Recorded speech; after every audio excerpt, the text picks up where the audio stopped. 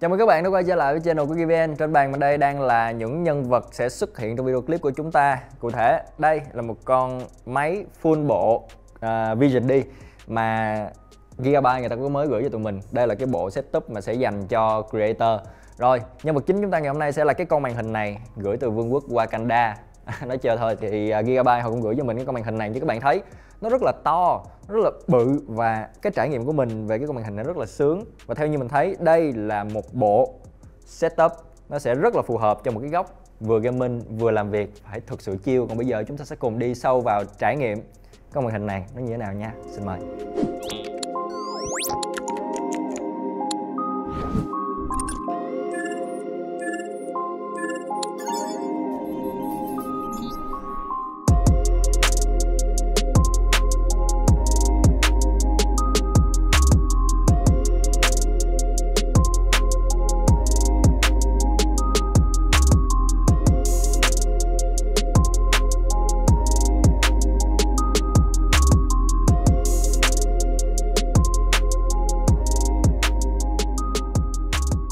Ok, đầu tiên để mình giới thiệu sơ về cái cấu hình để mà gắn được cái con màn hình này trước cái đi. Đây là một dàn máy sở hữu Core i9 11900K Đi kèm với nó là một con kẹt rất khủng là RTX 3090 Đây là một con kẹt mà mấy bữa nay các bạn có hay kháo nhau rằng nó ngang ngửa giá với lại một cái chiếc xe SH ấy.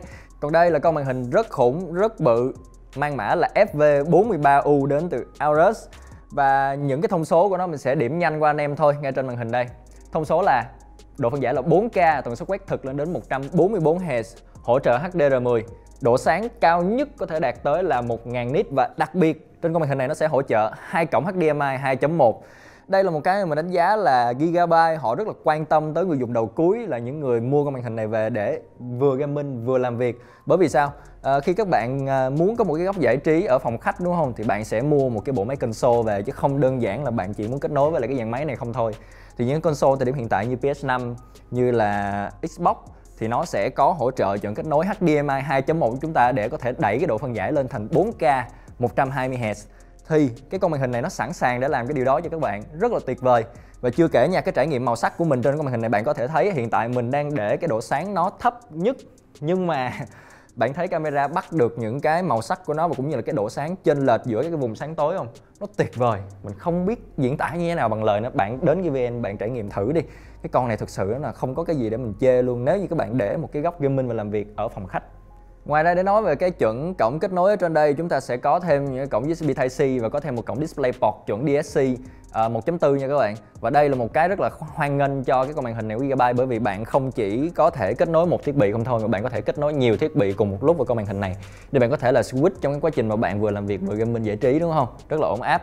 Rồi, ngoài ra thì Gigabyte có công bố cho chúng ta về cái Uh, chất lượng của cái tấm nền ở trên con màn hình này đây là một con màn hình có tấm nền VA là 150% sRGB sẽ có 99% Adobe RGB sẽ có 97% DPI P3 uh, thực sự đối với mình nha mình chưa có thời gian nhiều đủ để nhiều để có thể là đo màu trực tiếp ở trên đây để cho các bạn có thể thấy được cái sự tương quan của nó với một cái màn hình to như thế này và khi các bạn mua về đó thì thực tế ra với cái khoảng cách mà xa thì cũng không mấy ai mà ngồi làm việc quá nhiều với những cái file mà cần cái sự chính xác về màu sắc. Bởi vì uh, như các bạn đã thấy cái setup của tụi mình nè đèn nó chiếu vào rất là nhiều thì nó cũng sẽ ảnh hưởng tới cái độ sai lệch màu của con này uh, do môi trường. Vậy nên là mình recommend nha nếu như anh em thực sự mà làm việc kiểu try hạt á thực sự là cần cái độ chính xác á thì anh em nên là lắp cái dàn máy của anh em vào một cái con màn hình khác có một cái độ chính xác màu nó cao hơn nó nhỏ hơn và để trong một cái góc làm việc thực sự. Còn nếu như anh em cần cân bằng giữa cái nhu cầu gaming và làm việc thì hãy sử dụng cái màn hình này. Rồi và đặc biệt cái con màn hình này nó có loa nha anh em. À, dĩ nhiên rồi nhìn nó to như một cái tivi mà và loa của con này rất là hay. Loa của nó thì mỗi một củ loa sẽ được trang bị 12W và loa này là loa stereo thì khi mà mình mới cắm vô á và mình để âm lượng là khoảng 90% thì nguyên cái phòng của mình nó, kiểu như là, nó ồn khủng khiếp luôn á và anh em sẽ phải tới và giảm bớt âm lượng lại. Bây giờ mình đang để cái mức âm lượng của nó là khoảng 40% và mình sẽ thử bật loa cho anh em nghe nha, coi cái chất lượng của nó như thế nào. Đây là một cái scene, kiểu ờ, rừng, núi núi rừng thôi, nhìn nó cũng khá là gần gũi với anh em, đúng không? Bây giờ thì mình sẽ kéo cái thanh âm thanh của youtube lên maximum này rồi. Tại đây mình sẽ cho anh em thấy nha, hiện tại là tụi mình đang để windows là ở mức âm lượng là 60% thôi. Rồi, và cái con màn hình này thì tụi mình đang để âm lượng của nó ở mức khoảng 40% mà thôi.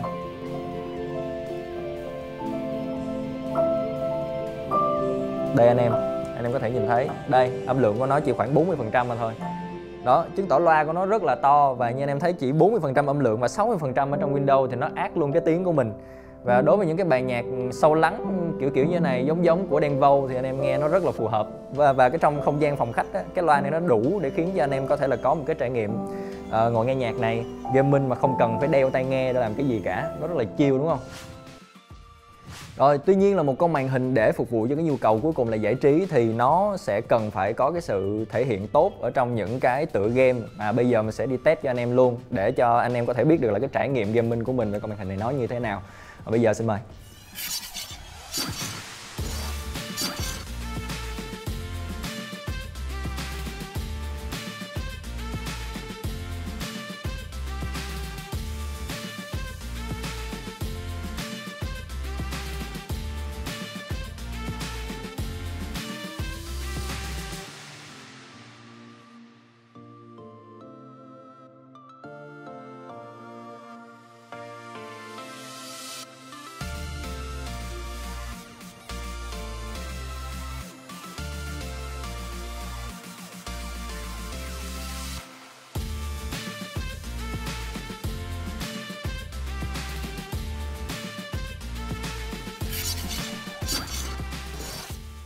Rồi như anh em thấy đó, một con màn hình 4K 144 Hz ở thời điểm hiện tại. Thực tế thì cũng không có quá nhiều cái cấu hình có thể đáp ứng được cái nhu cầu gaming trên 4K của anh em.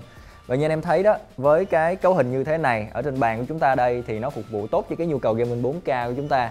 Và thậm chí đối với những cái tựa game AAA mà anh em có set ở cái mức thiết lập đồ họa cao nhất ví dụ như Tomb Raider thì nó vẫn đáp ứng được cho anh em ở cái mức FPS trên 60 với RTX on, DLSS on và cũng như là HDR on thì nó vẫn đáp ứng rất là đầy đủ cho anh em và thậm chí đối với những cái anh em nào mà có sử dụng console á, để anh em có thể gaming trên con màn hình này, thì đảm bảo là con màn hình này nó có thể đáp ứng được cái nhu cầu của mình. Đúng không anh em? Ngoài ra, với cái thông số mà Gigabyte người ta có chia sẻ cho chúng ta về cái thông số màu của con này, thì anh em có thể yên tâm là làm việc trên con này. Nhưng mà anh em nên nhớ là nếu như anh em làm việc trên con này, với những file media thực sự cần độ chính xác màu cao, thì anh em hãy tránh những cái không gian mà nó có quá nhiều đèn như thế này, nó sẽ làm ảnh hưởng đến chất lượng hình ảnh của chúng ta. Ok, vậy là video trải nghiệm nhanh của mình về con màn hình siêu to khổng lồ HDR10 kèm theo một mớ công nghệ về chấm lượng tử quantum dot rồi một mớ công nghệ về màu sắc hay là hình ảnh các thứ các thứ trong đây nó cũng đã kết thúc rồi. Thực tế ra đối với mình nha, khi mà mình có điều kiện và lựa chọn một con màn hình nó như thế này thì mình cũng sẽ không có quan tâm quá nhiều về cái spec của nó đâu bởi vì thực sự khi mà bạn bỏ tiền ra thì bạn đã biết bạn mua cái gì về rồi đây là một con màn hình có thể đáp ứng được cho đa tác vụ, đa nhu cầu chứ không phải chỉ đơn thuần là một con màn hình để giải trí không thôi. Màu sắc của nó cũng tốt này, HDR10, chuẩn bit màu nó cũng rất là cao mặc dù chỉ là 8 bit cộng FRC thôi nhưng mà dù sao nó cũng có 10 bit màu, tốt hơn rất nhiều so với những con màn hình TV ở thời điểm hiện tại. Ngoài ra 144 Hz của con này là tần số quét thực, tần số quét native chứ không phải là tần số quét giả lập giống như kiểu như công màn hình TV thời điểm hiện tại. Cho nên là nếu như anh em mua về anh em cắm vào trong những cái dàn console mới thời điểm hiện nay thì nó đáp ứng tốt cho cái nhu cầu của anh em. Còn bây giờ thì cảm ơn anh em đã xem video đến tận giờ phút này và đừng quên nếu video này hay đem lại cho anh em một cái trải nghiệm gì đó mới thì để lại một like, một share, một subscribe để ủng hộ kênh của mình tiếp tục phát triển nha. Xin chào tạm biệt và hẹn gặp lại trong video tiếp theo. Peace. 19 giờ hàng ngày trên kênh YouTube VN. Xin chào. Khoan, trước khi bấm vào video tiếp theo, hãy nhấn vào đường link bên dưới để để lại đánh giá nha. Nhớ đánh giá nha